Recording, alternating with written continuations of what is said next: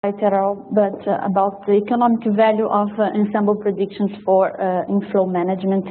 This is uh, mainly the work of uh, Iona who did a PhD at FTA uh, and um, in collaboration with Électricité de France, so in France. Well, before just starting on the why we are doing that, there are two things that we have to have in mind about uh, who is concerned by reservoir management in hydrological applications. So operational hydrologists that are interested in forecasting uh, strong events like floods, for instance, for early warning, and also for the operation safety and security of dams. And also planners that are searching to optimize the management of their resource and uh, uh, deal with uh, uses and conflicts in different time scales can be it's also space, different space scales, basin, national, regional, and also longer time scales. We are here more concerned on the, um, uh, on the analysis of the benefits of using a medium-range hydrological ensemble prediction, so up to seven days of lead time for reservoir management in a specific case of hydropower. So uh, EDF is a hydropower company, the major company in France. So we were focusing on um, the use of this uh, forecasts in uh, hydropower.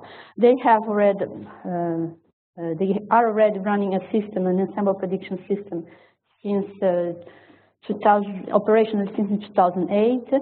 And uh, the question here was to try to transform this benefits of ensemble predictions that they were already conscious about that, but transform it into economic uh, gains. How much do we gain by using ensemble predictions in hydropower? Uh, so we uh, were with this objectives in mind, we, uh, and also with the, um, also we have to have in mind that we were looking for uh, a first experience with the economic value of these forecasts of course, hydropower companies know that they can uh, have economic gains by using forecasts and water at longer term at least, but we wanted to focus on this medium range forecast up to seven days. And we are also, uh, in order to better understand our methodology, we have to focus to understand that we are not focus, focusing on a specific catchment, but we are uh, rather trying to, to get a picture of uh, this economic value. So we got the, uh, in terms of data, we worked with the ensemble prediction system from ECMWF, and we used it as input to a hydrological model called MORDOR. It's a, a model used by EDF. It's a lumped model based on reservoirs for the routing and the, the production and the routing functions. And then uh, we uh, worked with daily ensemble stream flow forecast up to seven days ahead. And uh, with, uh, we developed a heuristic model for the operation of reservoirs and hydropower. And we used hourly European uh, energy prices, the EPEX spot prices, uh, for the period we were analyzing. This will give us then the, the value of the, of, the, of the forecast. These are our data. In terms of uh, uh, methods, so I'm not going to describe the hydrological model, but rather the, the heuristic uh, model for reservoir operation that we developed. So it's an kind of optimization tool, but based on uh, heuristic uh, rules. So you have as input the, the, the forecast, the discharge forecast up to day seven. Uh, our, the hourly prices of the energy market in euros per megawatt per hour are uh, in fact our objective function. We are going to, to research to uh, produce energy in the best hours uh, where the, high, the prices are higher, so we can sell it for uh, more uh, economic value. And of course, in, it's an operation of a reservoir, so we have to have constraints. And here we uh, simplified our system by using the maximum, the minimum capacity of the reservoir, and the maximum capacity of the turbine.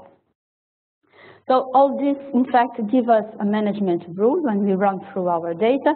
And this management rule that is simplified by this graphic on the right, uh, just for you to understand, is that we define when we are going to turn the turbines on or off. So they are on in the blue, um, dark blue, and they are off in the light blue. And you have in this curve the prices uh, for the next uh, seven days. the energy price. So you can see that we try to turbine when we have the higher prices and uh, stop the turbines when we have lower prices. This is the risk management rule. This is what we get from our from our model for this heuristic optimization. And then once we have this rule, of course, the, based on the forecast, we have to run the, the observation once the observation is available using the same constraints. And then we can get our actual reservoir management based on the observations. Of course, operational uh, managers will act uh, according to the observations. And then we uh, evaluate our gain in, in monetary gain. Well, um, in this um, modeling that, like I told you, I would, uh, we wanted to apply to several uh, catchments, but we had to done some simplifications to be able to do that. So uh, we worked with um, actual inflows to our catchments. So these are predictions obtained with the ensemble forecasting system that I described uh, over the catchments. And in the reservoirs, we didn't work with uh, real values of capacity of these reservoirs. We didn't have this data anyway. But we uh, defined units of power production that were described by a capacity, the storage capacity.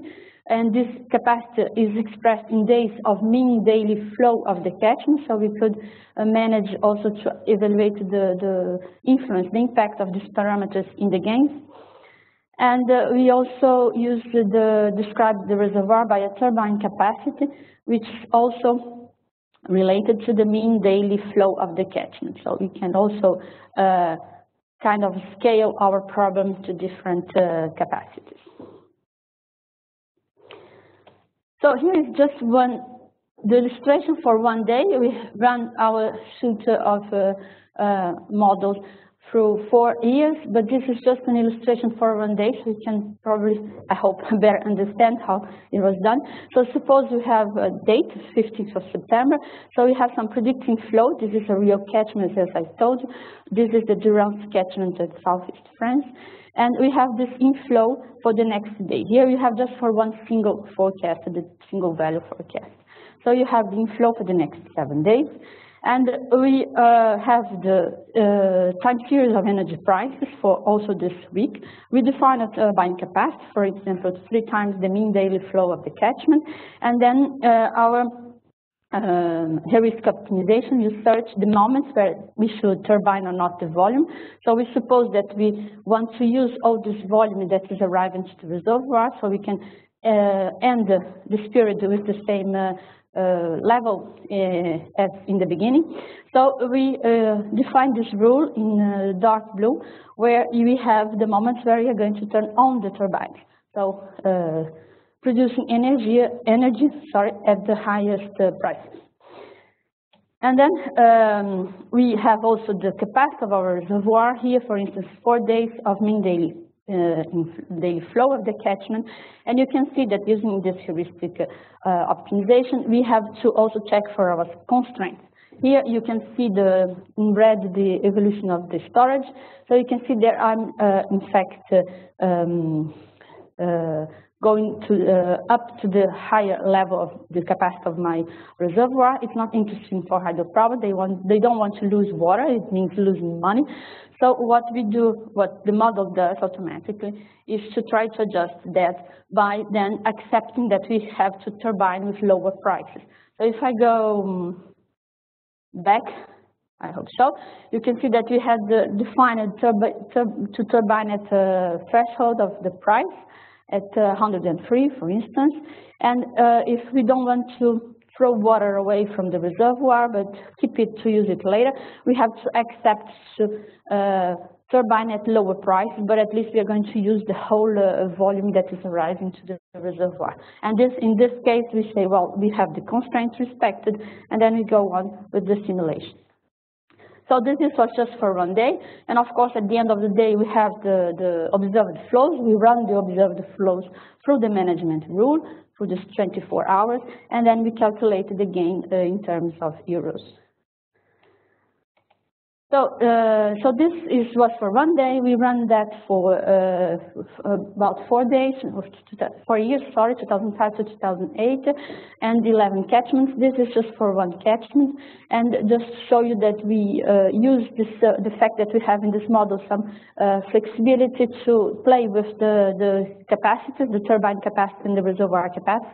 So just for you to show that, well, the, the model follows the logic that more uh, turbine capacity, so more gain, of course, the more I produce energy, more I can uh, get on money.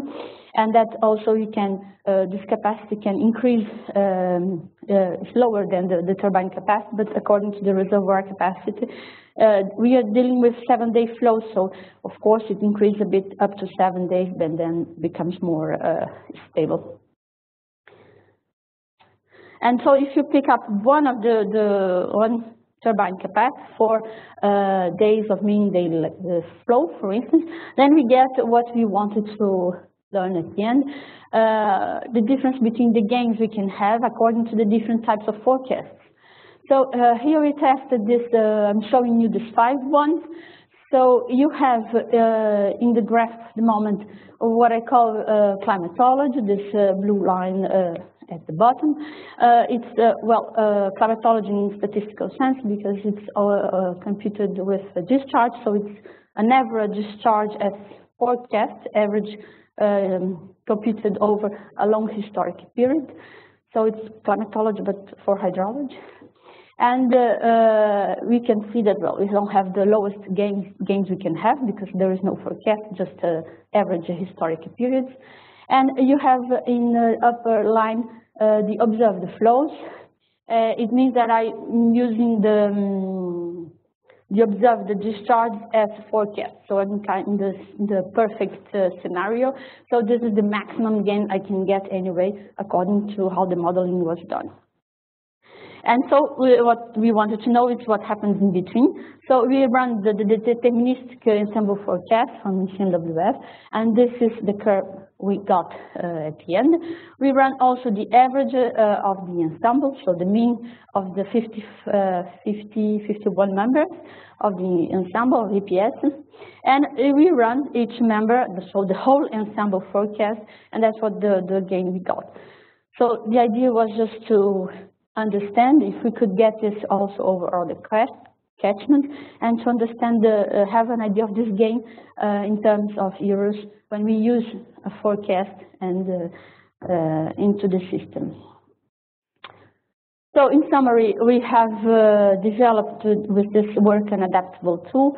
There is not um, optimization tool. It's a heuristic algorithm. It's a semi-optimized rules but it allows us to, uh, let's say, play in research mode with our uh, data and with our concepts.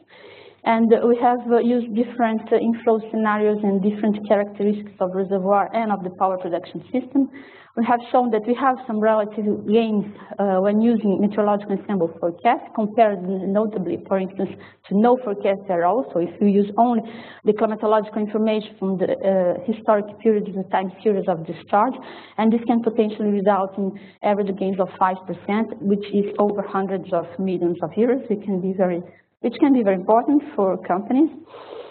Um, and in further studies uh, that we had developed since then, uh, we uh, also uh, tested the impact of post-processing uh, forecasts on this energy production. So our idea here is to uh, study the link between quality and usefulness of this forecast.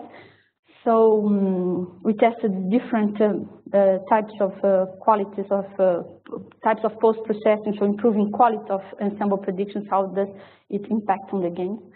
And also something that we haven't yet developed further, but we plan to, is to improve also how to use the probabilistic information in the model.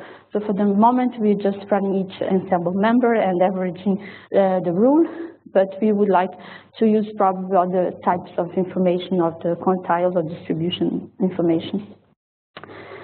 Uh, I'd like to thank you in the name of also my colleagues and also to draw your attention to the HEPEX website and that we have in, brought in uh, with Marie-Amélie Boucher, is also a professor at uh, in Canada that works also with economic value. We have written a blog on economic value. You have all the four blogs about econ blog posts on economic value. So you can just go to the the and select the category that interests you. You can see uh, and read more about it.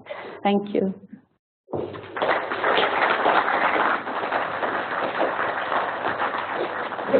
Thank you very much. Questions?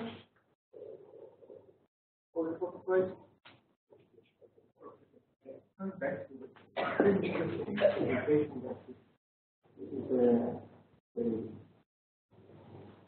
practical application of that. I understood that uh, there are no simulation of the use of satellite data in the presentation, that is only the use of the forecast variable.